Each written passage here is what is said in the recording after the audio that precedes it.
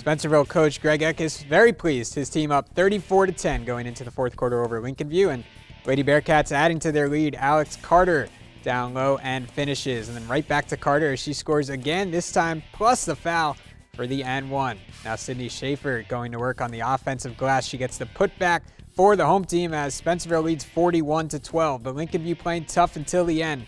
Frakey carry the steal, and she finishes with a tough lay-in but it's not enough as Spencerville gets the 30 point win at home.